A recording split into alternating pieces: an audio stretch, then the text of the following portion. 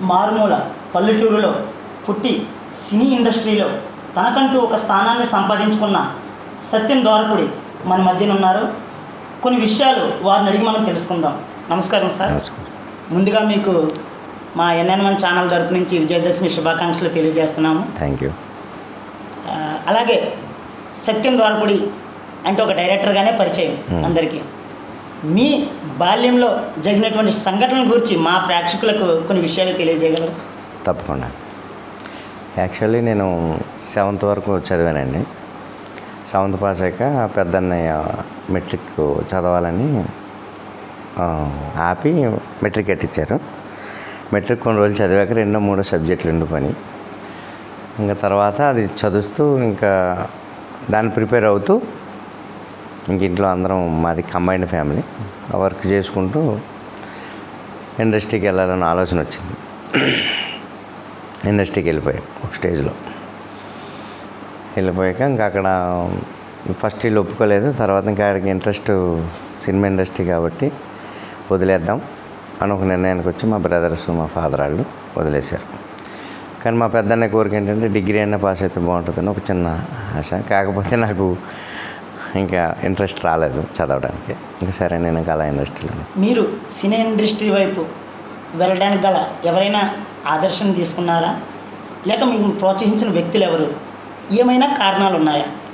కారణాలు ఏమి లేవు. యాక్చువల్లీ ఏంటంటే నాకు చిన్నప్పటి నుంచి సినిమా అంటే ఇష్టం. చూడ ఎక్కువ సినిమాలు చూడటం అలాగే ఇష్టం. ఎక్కువ సినిమాలని ఇక్కడ విలేజ్లో ఏముంటాయి? వారానికి ఒకసారి పది రోజులకి ఒకసారి సినిమా వస్తే మా ఇంట్లో సినిమాకి వెళ్ళాలంటే అందరి పర్మిషన్ కావాలి. అది తీసుకునేటప్పుడు టూ వీక్స్ పట్టింది ఒక సినిమా చూసేవాడిని. కాకపోతే ఏదైనా సినిమా చూస్తే ఆ ప్యాటర్న్లో డైలాగులు రాయాలన్నా రాయటం ఆ ప్యాటర్న్లో సీన్లు మాట్లాడుకో అప్పుడు సీన్ ఎలా రాయాలి డైలాగ్ ఎలా నాకైతే తెలియదు కానీ ఏదో ఒక అలా ఒక ప్రాసలాగా ఒక కవితలాగా రాసుకుంటూ వెళ్ళేవాడిని. అది బయటికి చెప్పడానికి అవకాశం ఉండేది కదా. చెప్పడానికి సిగ్గు ఒక రకంగా ఎవరో చుట్టుపక్కల అంత సర్కిల్ అంత ఫ్రెండ్స్ కూడా నాకు లేరు. ఇంట్లో ఏంటంటే వర్క్ చేయటం నైట్ ఏమన్నా రిలాక్స్గా ఉన్నప్పుడు ఏమన్నా రాయటం. ఇలా ఉండేది. కానీ వెళ్ళాలని కోరుకుండేది కానీ ఎలా వెళ్ళాలో నాకు తెలియదు వెళ్ళి వెళ్తే కూడా ఏం చేయాలో కూడా నాకు తెలియదు అలాంటి సందర్భంలో ఒక రోజు ఎందుకు బాగా బలంగా ఒక నిర్ణయం తీసుకున్నాను. కదిలితే తప్ప ఏ పని కాదు కదా అని. ఆ టైంలో ఒక రోజు చెప్పచేయకుండా వెళ్ళవలసిన పరిస్థితి వచ్చింది. అంటే చెప్పే ధైర్యం లేక. వెళ్ళాను మళ్ళీ కంగారు పడతారు భయపడతారని వేరే ఆయనకి బస్సులో రాజమండ్రి వెళ్తే ఒక కాగితం రాసి నేను హైదరాబాద్ వెళ్తున్నాను. తిరిగి వచ్చేస్తా టెన్షన్ పడద్దని. ఆయనకి ఆ కాగితం ఇంటి దగ్గర ఇచ్చామని వెళ్ళాను. ఆ కాగితం వచ్చాక వీళ్ళందరూ కంగారు పడ్డారు. నేను వెళ్ళాను. నాలుగైదు రోజులు ఉన్నాక మళ్ళీ వచ్చేసాను. నన్ను ఎత్తుక్కుంటూ పెద్దనే వచ్చాడు. మళ్ళీ తిరిగి వచ్చేసాను. మళ్ళీ వచ్చేసాను వచ్చేసాక ఇంకా కొన్ని రోజులు ఆగరా వెళ్ళిరిగానులే అని అందరూ సర్ది చెప్తే ఇంక ఇంట్లో కొన్ని వన్ ఇయర్ ఎయిట్ మంత్స్ ఉన్నాక మళ్ళీ అప్పుడు వీళ్ళు ప్రిపేర్ చేస్తే వెళ్ళాను. మిమ్మల్ని ఎక్కువ శాతం ఇండస్ట్రీలో ప్రోత్సహించిన వ్యక్తులు ఎవరు? యాక్చువల్లీ ఇండస్ట్రీలో ప్రోత్సాహం అంటే ఏమి లేదండి. యాక్చువల్లీ ఎవరి దగ్గర నేను వర్క్ చేసినా ఎవరి దగ్గర ఉన్నా వాళ్ళు ఇష్టపడేవారు ఫస్ట్. నా క్యారెక్టర్కి కానీ నా వర్క్కి కానీ అలా నేను చేసిన వ్యక్తులతో బాగా ఫ్రీగా వర్క్ చేసేవాడిని. ముఖ్యంగా ఇంటి దగ్గర నుంచి ప్రోత్సాహం అయితే వచ్చింది. వాళ్ళే ఫస్ట్ నా ఏదో ఉన్నా కానీ వెనక నుంచి చూసుకుని ఉండేవాడు ఫ్రీగా వదిలేశారు ఇంకా. ఏమన్నా ఇక్కడ ఇంటి దగ్గర సమస్యలు ఉన్నా వాళ్ళు చూసుకునేవాడు నన్ను పూర్తిగా నేను ఇంకా ఇండస్ట్రీకి ఫిక్స్ అయిపోయాను. ఇంకా అక్కడ ఏంటంటే నేను ఎవరి దగ్గర పని చేసినా వాళ్ళు ఇష్టపడేవారు ఫస్ట్ క్యారెక్టర్ పరంగా కానీ వర్క్ పరంగా కానీ నేను కూడా నాకు నచ్చితేనే ఉండేవాడిని ఎక్కడైనా. నాకు పని వచ్చినా రాకపోయినా పని ఇచ్చినా ఇవ్వకపోయినా నాకు కంఫర్ట్ ఉంటేనే నేను ఉండను. నా కంఫర్ట్ లేకపోతే నాకు నేనే వెనక్కి వెళ్ళిపోయాను అలా నా వ్యక్తిత్వంతోనే నేను బ్రతికాను ఇప్పుడు స్టిల్ ఇప్పుడు వరకు. అంతేగాని నాకు నచ్చితేనే నేను ఉన్నాను ఎక్కడైనా. సో అలాగా. కాకపోతే ఇండస్ట్రీ ఏంటంటే కష్టపడేవాడిని ఎవడిని కూడా ద్రోహం చేయదు. కళమ్మ తల్లి అనే ఆవిడ ఎప్పుడైనా కళమ్మ తల్లి ఇండస్ట్రీ కోసం పనిచేసిన వాడిని ఎక్కడైనా గుండెల మీద పెట్టుకుంటుంది అనేది నాకు అర్థమైంది. నాకు యాక్చువల్లీ ఈ గ్రామం నుంచి వెళ్ళేటప్పుడు నాకేమీ తెలియదు నాలెడ్జ్ లేదు ఎడ్యుకేషన్ లేదు ఏం చేయాలో తెలియదు కానీ వెళ్ళాను. కానీ ఏదో ఒకటి చేస్తామని నమ్మకం. ఆ నమ్మకం మీద ఉన్నాను. ఆ నమ్మకం నన్ను కాపాడుకుంటూ వచ్చింది. నేను ఏ రోజు అసిస్టెంట్ డైరెక్టర్గా చేయని లేకపోతే ఇంకో రకంగా ఉన్నా కానీ వర్క్ తప్ప సినిమా గురించి తెలుసుకోవడం తప్ప వేరే అవకాశం నేను పెట్టుకునేవాడిని కాదు. నాకు వేరే వాళ్ళతో కూడా ఎక్కువ స్పెండ్ చేసేవాడిని కాదు. వర్క్ ఉంటే ఆఫీస్లో చేసుకోవటం మళ్ళీ ఇంటికి వచ్చాక అదే వర్క్ చేసుకోవటం. నేను బయట తిరగటం ఫ్రెండ్స్తో ఉండటం ఇలాంటివి ఉండేవి కాదు. ఎవరైనా నా ఫ్రెండ్ నా ఇంటికి వస్తే ఫ్రెండ్ నేను భోజనం పెట్టడం నాతో ఉండటం తప్ప నేను ఎక్కడికి వెళ్ళటం కాదు. ఎవరి దగ్గర ఉండటం కానీ అలా ఉండేది కాదు. నాకంటూ ఒక ఇంటికి వస్తే ప్లెజెంట్గా ఉండాలి. నేను ఇంటికి వస్తే నేను ఏదో ఆలోచించి రాయాలి. ఇలాగ ఉండేది. ఫస్ట్ నుంచి ఏంటంటే చిన్నప్పటి నుంచి నాకు ఈ రాయటం అలవాటైంది. చిన్న చిన్న కవితల్లాగా రాయటం ఇలాగా ఒక సినిమా చూస్తే ఆ సినిమా ప్యాటర్న్లో డైలాగులు రాయటం. అది నాకు చేయగలనేమో నమ్మకం. ఎవరినైనా అడిగి నాకు సినిమా ఇండస్ట్రీకి పంపండి అంటే సిగ్గు. ఏలం చేస్తారు? జోక్ చేస్తారు? బాగా సిగ్గు ఉండేది సో కంబైన్డ్ ఫ్యామిలీలో ఉండటం వల్ల కొద్ది భయం ఉండేది. దానివల్ల నేను ఎవరి దగ్గర ఓపెన్ అవ్వలేదు. ఒక్కసారి బలమైన నిర్ణయం తీసుకోవటం వెళ్ళటం వెళ్ళిన తర్వాత వీళ్ళు కోఆపరేట్ చేయటం ఇంటి దగ్గర నుంచి. ఇంకా నేను అక్కడ ఉండిపోవటం. ఇంకా అలా అలా స్టెప్ బై స్టెప్ అసిస్టెంట్ చేసుకోవటం. అలాగ అలాగా. తక్కువ టైంలో డైరెక్టర్ అయ్యాను. అంటే తక్కువ టైంలో డైరెక్టర్ అవ్వడానికి కారణాలు ఏంటంటే ఎప్పుడూ పని లేదని ఫీల్ అయ్యేవాడిని కాదు నేను. కథలు తయారు చేసుకోవాలి. కథ ఇంపార్టెంట్. సినిమా డైరెక్షన్ చేయాలంటే అని. మంచి మంచి కథలు తయారు చేసుకోండి టైం వేస్ట్ పనులు అయితే చేసేవాడిని కాదు. వేస్ట్ పర్సన్స్ తగిలిన మా ఎక్కువ స్పెండ్ చేసేవాడిని కాదు. అలా ఉండేది. ఆ సందర్భంలోనే పెళ్ళిగాని ప్రసాద్ కథ తయారు చేయటం. అది నేను నరేష్ గారికి శివాజీ గారికి చెప్పడం నచ్చటం. మళ్ళీ అది ఈవీవి గారికి చెప్పడం ఈవి సత్యనారాయణ గారికి. ఆయన మహానుభావుడు. ఆయన ఆయన కామెడీ సినిమాలు జంజాల్ గారి తర్వాత ఆయనే. ఆయన దగ్గర కామెడీ గారు చెప్పి ఒప్పించడం ఆయనకి నచ్చటం ఆయన హెల్ప్ చేయటం ఆయన సపోర్ట్ చేసి ఆ టైటిల్ కూడా నాకు ఈవి సత్యనారాయణ గారు ఇచ్చారు ఆయన పెట్టుకోవాల్సిన టైటిల్ పెళ్ళిగాని ప్రసాద్ బాగుంటుంది చెప్తుంది అలా ఆ ఫస్ట్ సినిమాకి శివాజీ గారు కానీ నరేష్ గారు కానీ బాగా సపోర్ట్ చేశారు. అలా ఇష్టపడి సినిమా చేశాం. అలా ఫస్ట్ డైరెక్షన్ అవకాశం వచ్చింది. వెళ్ళిన నేను ఇండస్ట్రీకి వెళ్ళిన ఎయిట్ ఇయర్స్ టెన్ ఇయర్స్కో ఫస్ట్ సినిమా డైరెక్షన్ చేశాను అది. ఈవెన్ ఆ సినిమా చేసేటప్పుడు ట్వంటీ సిక్స్ ఇయర్స్ అలా ఉండొచ్చు. చిన్న వయసులో. చేశాను. ఇప్పటి వరకు మీరు ఎన్ని సినిమాలు చేశారు? ఈ సినిమాలన్నిటిలోనూ మీకు గుర్తింపు తెచ్చిన సినిమా? పెళ్ళిగాని ప్రసాద్. పెళ్ళిగాని ప్రసాద్. మంచి కాంబినేషను మంచిది తర్వాత నేను శ్రీకాంత్ గారితో చేశాను. వీడికి దూకుడు ఎక్కువని కామన జట్టు అది మంచి కథ. సో అంటే అలాంటి నూట యాభై సినిమాల హీరో అయినా ఆయనతో చేయాలని కోరిక నాకు. ఆ, ఆ కోరిక ప్రకారంగా ఆయనతో చేశాను ఇష్టపడి. కానీ చాలా మంచి హీరో అయిన చాలా సున్నితం ఏం చెప్తామో డైరెక్టర్ అనేవాళ్ళు అది చేస్తారని. కాదని ఇంకోటి చేయరు చెప్పరు. టైం అంటే టైమే సెవెన్ అంటే సెవెన్కి వచ్చు అలాగా నేను చేసిన మంచి ఆర్టిస్టులు అందరూ కూడా నేను ఫస్ట్ నుంచి కూడా మంచి ఆర్టిస్టులతోనే చేశాను మంచి హీరోలతోనే చేశాను. ఫస్ట్ సినిమా నుంచి నరేష్ గారు అవనే శివాజీ గారు అవనే రఘువర్ణ గారు నా ఫస్ట్ సినిమా.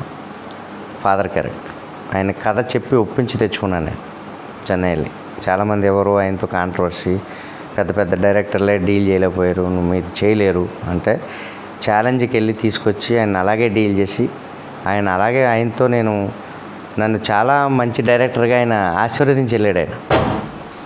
చాలా మెచ్చుకొని వెళ్ళాడు ఆయన. సో తర్వాత తులసి గారితో చేశాను. మళ్ళీ జయసుధ గారు కృష్ణుడితో ఒక హిందీ సినిమా రీమేక్ కొని స్టార్ట్ చేశాను. జయసుధ గారు కూడా చాలా మెచ్చుకున్నాను అలాంటి ఆర్టిస్టులతో చేశాను. తర్వాత శ్రీకాంత్ గారు కామన జట్లని ఇలా మంచి మంచి ఆర్టిస్టులతో చేశాను. మళ్ళీ రీసెంట్లీ బెక్స్ గారు సినిమా చేశారు. చదలవాడి శ్రీనివాసరావు గారు తిరుమల తిరుపతి వెంకటేశ్వర బ్యానరు. వాళ్ళ సి- వాళ్ళతో ఒక సినిమా చేశాను. అది లవ్ ఎంటర్టైన్మెంట్. అందులో కొత్త పాత ఆర్టిస్టులు ఉన్నారు. Love subject. ఇది కాశ్మీర్లో చేశాను. ఒక నా యాభై ఐదు రోజులు ఉన్నాను. ఇది ఇప్పుడు తీబోయే సినిమా వచ్చి రీమేక్ సినిమా. తమిళంలో సూపర్ హిట్ అయింది. విమల్ చేశాడు. కన్నడలో కూడా సూపర్ హిట్ అయింది. కిరాత కానీ. అది యష్ చేశాడు. KGF hero. అది ఆయనకి అది చేసాక ఆయనకి మంచి మాస్ ఫాలోయింగ్ వచ్చింది. ఈ సినిమా రైట్స్ ఈ సినిమా చూసి కొనాలి కొనాలి అనుకొని దాన్ని కొని చేస్తున్నాం. ఇది విలేజ్ బ్యాక్డ్రాప్ సినిమా. ఇలాంటి సినిమాలే తీయాలనే ఆలోచన మీలో ఏమైనా ఉందా? ఉందండి. ఇలాంటి సినిమాలు అని ఏం కాదు. యాక్చువల్లీ ఏంటంటే అన్ని డైరెక్టర్ అనేవాడు అన్ని రకాల కథలు డీల్ చేయగలగాలి. ఈ కథ తీస్తాను ఇలాగే ఉంటాము ఈ కథ తీయగలడు అని ఒక కథకే బ్రాండ్ ఉండకూడదండి. ఒక క్రైమే తీయగలడు ఒక లవ్వే తీయగలడు ఒక ఫ్యామిలీయే తీయగలడు ఒక యాక్షనే తీయగలడు ఒక ఎమోషనే తీయగలడు అని కాకుండా సొసైటీకి పనికి నా దగ్గర ఉన్నాయన్నీ మేజర్ కథలన్నీ సోషల్ ఇష్యూస్. సొసైటీ ఏదో ఒకటి చెప్పాలి ఇండైరెక్ట్గా. అంటే ఇది చెబుతున్నాం విను అని కాకుండా అర్థం చేసుకోవాలి. ఆడియన్ ఓహో ఇలా జరిగితే ఇలా ఉంటుంది అనేది తెలియాలి. అలాంటి సబ్జెక్టులు చేసుకున్నాను. అవన్నీ పెద్ద సబ్జెక్టులు పెద్ద హీరోకి సంబంధించినవి. ఇదేంటంటే ఈ గ్రామీణ వాతావరణానికి సంబంధించిన లవ్ ఎంటర్టైన్మెంట్ కదా. ప్రతి ఇంట్లో ఒక కుర్రోడు ఇలా ఉంటాడు. అనేక లవ్ సబ్జెక్ట్ ఎంటర్టైన్మెంట్. తండ్రి తిట్టడం తల్లి సపోర్ట్ చేసి రావడం వాడు చివరికి ఏదో ఒకటి చేయటం. ఈ బ్యాక్డ్రాప్లో ఈ కథ కొన్నాను. ఇది రెండు లాంగ్వేజ్ ఇట్టాను సినిమా. ఈ సినిమాని మన విలేజ్లో తీస్తే బాగుంటుంది. ఈ లొకేషన్ తగ్గట్టు ఉందని ఇక్కడ తీసుకొచ్చేసాను. యాక్చువల్లీ ఇది హైదరాబాద్లో చేయాలని అనుకునేవారు కానీ నాకు లేదు. ఈ నేటివిటీ అంటే ఇదే. ఇదే కరెక్ట్ అనేది ఇక్కడ తీసాను మీ షెడ్యూల్లో స్టార్ హీరోలతో ఏమైనా సినిమాలు ఉన్నాయా? ఉన్నాయండి అదే కోరిక అదే ఆశయం అదే గోల్ హండ్రెడ్ పర్సెంట్. నేను చేసుకుంటే అంటే నేను బ్యాక్గ్రౌండ్ తెలియనోడు కాదు. నేను అక్కడికి వెళ్ళే వర్క్ నేర్చుకుని నాకు ఎవరు తెలిసిన వాళ్ళు కూడా లేరు ఇండస్ట్రీలో నాకు నేనుగా ఒక ప్లేస్ ఏర్పరచుకొని ఆ ప్లేస్ నుంచి కష్టపడి అక్కడి నుంచే డెవలప్ ఎలాగ అవ్వాలి అనే ప్రయత్నాల్లోనే ఉన్నాను అంతే. మీరు తీయబోయే సినిమాల్లో సమాజానికి ఏమైనా మెసేజ్ ఇచ్చే సినిమాలు ఏమైనా ఉన్నాయా? హండ్రెడ్ పర్సెంట్ ఉన్నాయి. సమాజంలో అంటే మనం మెసేజ్ ఇస్తే జనం వింటారని కాదు కానీ ఒకవేళ కనీసం టెన్ పర్సెంట్ అయినా ఆలోచిస్తారేమో అని ఒక చిన్న నమ్మకం. అలాంటి కథలు ఉన్నాయండి. ఎందుకంటే సమాజం వదిలేసిన విషయాలు చాలా ఉన్నాయి. ఆ ఎవరు పట్టించుకునే తీరిక లేదు. అంటే ఎవరి సమస్యలు ఆడలో ఉన్నారు. కనీసం ఒక సినిమా రూపంలో అయినా చెప్తే ఒకసారి ఆలోచిస్తారేమో అని చిన్న నమ్మకం. నాకు ఇష్టం కూడా అలా. అది సొసైటీ గురించి అంటే నాకు బాగా ఇష్టం. దానికి సంబంధించిన పాయింట్లు సినిమా అనేది మనం చూస్తే కనుక పెద్ద పెద్ద సెట్స్ మధ్య లేదంటే వేరే వేరే అదర్ కంట్రీల్లోనూ ఎక్కువగా షూట్ చేస్తూ ఉంటారు. కానీ మీరు పల్లెటూరు ప్రకృతి పచ్చదనంలో షూటింగ్ చేయడానికి గల కారణాలు ఏమైనా ఉన్నాయా? ఉన్నాయండి. యాక్చువల్లీ ఏంటంటే ఒక్కొక్క కథ కథను బట్టే మనకు లొకేషన్ డిమాండ్ చేస్తుంది. ఫస్ట్ లొకేషన్ తీసుకునేదే కథ. కథ అడుగుతుంది ఒక ఆర్టిస్ట్ని అయినా ఒక లొకేషన్ అయినా ఒక మంచి డైలాగ్ని అయినా ఒక మంచి ఆర్టిస్ట్ని అయినా అయితే ఇక్కడ ఏంటంటే ఈ ఇప్పుడు యాక్చువల్లీ నేను శ్రీకాంత్ గారి సినిమా చేసినప్పుడు సిటీ బ్యాక్డ్రాప్ అది. పెళ్ళిగాని ప్రసాద్ కూడా సిటీ బ్యాక్డ్రాప్. అది కథ ప్రకారంగా నేను ఫారెన్ వెళ్ళవలసి వచ్చింది శ్రీకాంత్ గారి సినిమా. వెళ్ళాను. అక్కడ తీసిన సింగపూర్ మలేషియా చేసి వచ్చి ఈ పెళ్ళిగాని ప్రసాద్ కూడా సిటీ బ్యాక్డ్రాప్ సినిమా. ఒక సాంగ్స్ మాత్రమే కేరళ వెళ్ళాను లొకేషన్ వాటర్ ఫాల్స్ కోసం. మిగ మిగతా సాంగ్స్ ఇక్కడ చేసేసాను కానీ ఇప్పుడు తీయబోయే సినిమా వచ్చి విలేజ్ బ్యాక్డ్రాప్ సినిమా. అంటే ఈ పచ్చదనం ప్రకృతి అనేది మన సెటిల్ అయితే రాదండి. ఇది జస్ట్ లైవ్. ప్రకృతిని మనం పెయింటింగ్ అయితే వచ్చేది కాదు దాన్ని ఎవరు సృష్టించలేదు. అందుకని ఇది లైవ్లోనే తీయాలి ఈ విలేజ్లోనే రావాలి ఈ అందాలు మళ్ళీ రావు మనం తయారు చేయలేము. అందుకని ఇక్కడ తీయాలని ఈ కథని. ఈ విలేజ్ బ్యాక్డ్రాప్ కథ కాబట్టి ఈ- ఈ విలేజ్కి వచ్చి ఈ విలేజ్లో కూడా కొన్ని విలేజ్లు ఉంటాయి. ఆ విలేజ్లు వేరు ఈ విలేజ్ వేరు. ఈ విలేజ్లు వేరు. ఇటు సైడ్ ఈస్ట్ గోదావరి విలేజ్లో ఏంటంటే నేటివిటీ. మనం అనుకున్న మన చిన్నప్పటి నుంచి పెరిగిన వాతావరణం మనం చూసిన అందాలు అన్నీ ఇక్కడే ఉంటాయి. కాబట్టి ఈ కథకి నేను తీసుకున్న కథకి ఇది కరెక్ట్ అనిపించింది. నేను ఇది కూడా కోరిక నాకు. ఇప్పటి నుంచైనా ఒక మంచి విలేజ్ బ్యాక్డ్రాప్ సినిమా చేస్తే నేను ఇటే చేయాలి రాజమండ్రిలో గోదావరిని చూపించాలి వైజాగ్ షీషోర్ చూపించాలి లేదా మా విలేజ్ని చూపించాలి అని చిన్న కోరిక ఉండేది. దానికి తగ్గట్టు ఈ కథ దొరకడంతో నాకు అది అన్నీ సెట్ అయినాయి సింక్ అయినాయి. నాకు అన్నీ అనుకున్నట్టు వచ్చింది అద్భుతంగా వచ్చింది. ప్రతి సీన్ కూడా బ్యాక్ లొకేషన్ పరంగా ప్రకృతి పరంగా చాలా అందంగా వచ్చింది. అందమైన గ్రీనెస్ వచ్చింది. అవి మనం పెయింట్ అయితేనే సెటిల్ అయితేనే తేలేము మీరు చెప్తున్నటువంటి పెళ్ళిగాని ప్రసాద్ ఒక మంచి స్థానాన్ని గుర్తించిందనేసి మీరు అంటున్నారు.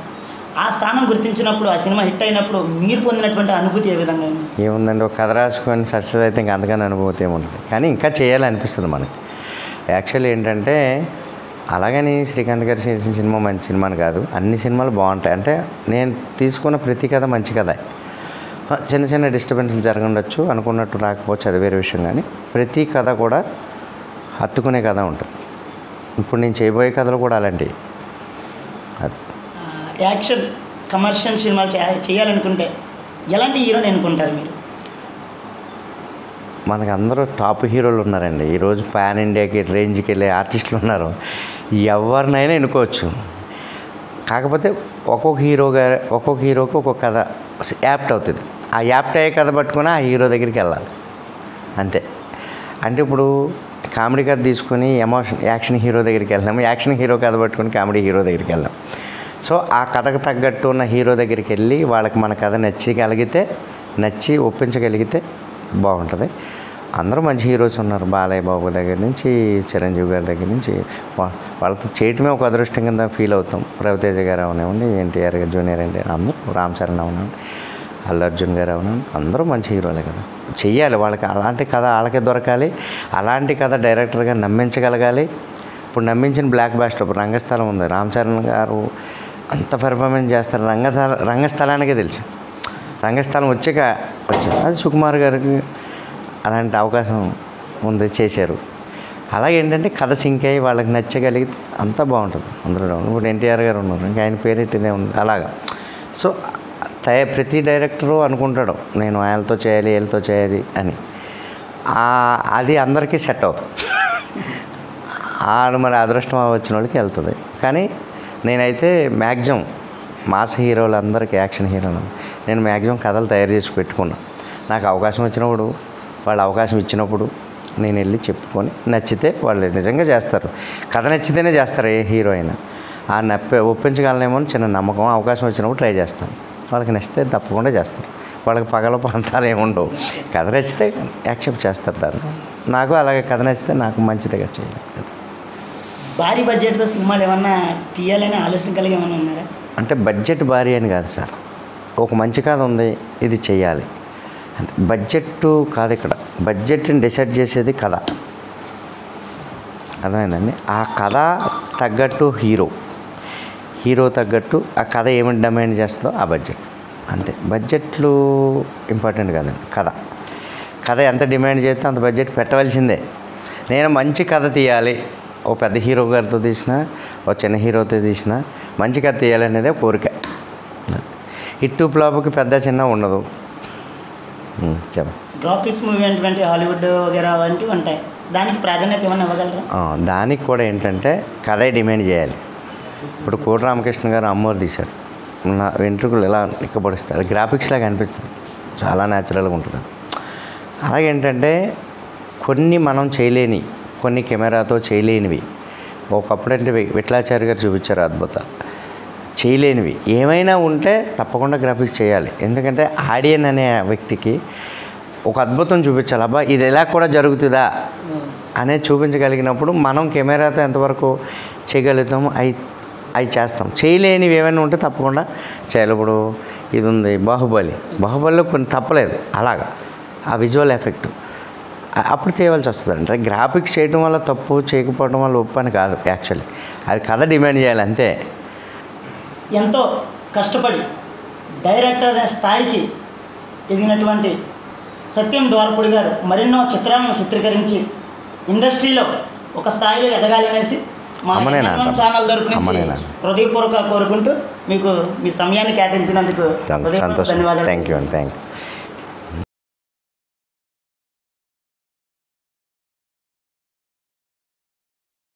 మా నాన్నగారండి మా అమ్మగారు. నాకు వీళ్ళ ఆశీర్వాదంతోనే నేను అంత స్థాయికి వెళ్ళానేమో అనుకుంటున్నాను నేను. నన్ను ఎప్పుడు కూడా వీళ్ళిద్దరు ప్రోత్సహిస్తూనే ఉన్నారు. అది సార్.